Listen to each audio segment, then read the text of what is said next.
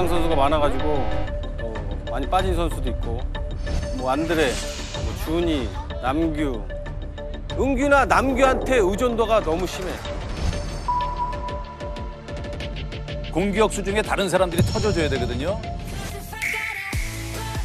김영식 선수가 어, 골맛을 봐야 되지 않겠습니까? 그렇죠. 김용 선수의 터져주는 게 지금 어쩌다 면에서 가장 중요하거든요. 자, 장정 선수가 공격적으로 한 번 더 가야 상대 수비도 부담을 받거든요. 그동안 이제 류은규 있는 왼쪽만 많이 이용했는데 오른쪽에 드디어 적임자가 나타났어요. 또 가나요, 장정민. 장정민. 장정민. 자, 반대쪽. 그렇지. 아, 그리고 또 수비까지. 야, 좋아요, 장정민. 장정민 좋아요. 장정민.